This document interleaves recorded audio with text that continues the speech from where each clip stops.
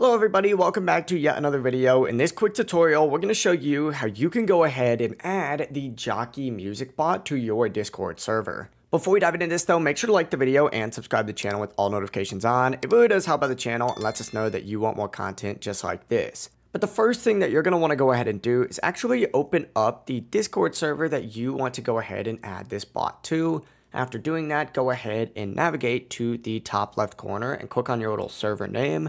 And from this drop down here, go ahead and select server settings just like so. Now on this left hand menu that's going to appear, go ahead and find this little apps category and then click on app directory right here and it's going to take you to a page that looks like this. In this little search bar up in the top right, go ahead and type in jockie music just like so and hit enter. And it's going to pull up with a page that looks something like this. Go ahead and find the jockie music bot just like so and then hit add app right here and it's going to pull up with a page like this. Now, it should automatically detect the server that you want to go ahead and add it to. If it doesn't, just click on this drop down and choose that right server. Hit continue and then hit authorize just like so. And then go to your server just like that. But that's it. If you go back to your server like I just did here, you'll see that the Jockie Music Bot is now installed and ready to use. If you do have any questions, don't hesitate to ask us down in the comment section below. And before you leave this video, make sure to like the video and subscribe to the channel with all notifications on. It really does help with the channel and lets us know that you want more content like this.